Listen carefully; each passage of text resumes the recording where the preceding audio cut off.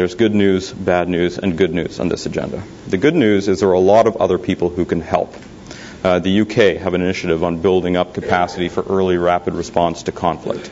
The Danish and the Norwegian governments have initiatives on building up civilian capacities for response to conflict at the UN and in the European Union. There are a host of other actors out there who can help build this suite of tools that we're going to need to deal with these conflicts and who can play direct roles in Sudan, in the Middle East, and a whole host of situations. Uh, it will, however, in my estimation, take American diplomacy and American policy to pull that suite of initiatives into anything remotely resembling a coherent plan for deepening our capacity.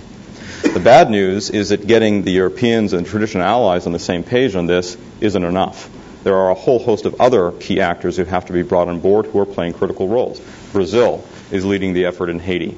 India is the second largest contributor to UN peacekeeping operations and plays critical roles in places like Lebanon and Sudan.